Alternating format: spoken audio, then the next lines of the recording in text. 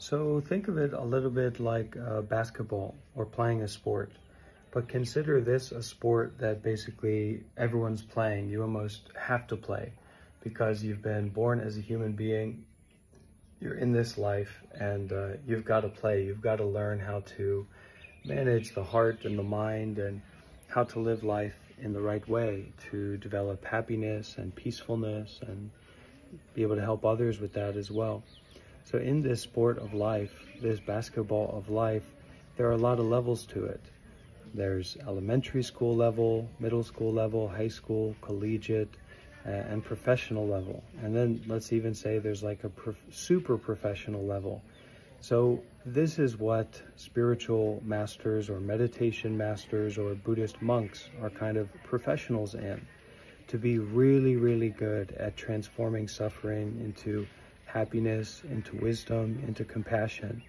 And if we want to take this responsibility of the game of life that we have to play no matter what, you've got to get involved. You've got to follow and look to and trust in these professional players out there. Not so that you can worship them or be their, you know, be their servants or something like that, but so that you can learn how to develop and trust that development is possible that transformation of suffering into happiness, into compassion, into freedom is completely possible. It's just a matter of getting onto the court and playing. And it's not just competition, it's a family, it's a community.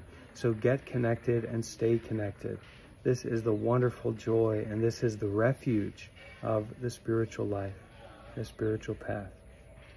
Okay? Good luck and you're welcome to follow me and join with me and uh, the teachers that I follow and the places that I go uh, as much or as little as you're willing to. But please stay connected, follow, support, get involved so that you can know that you have a home here.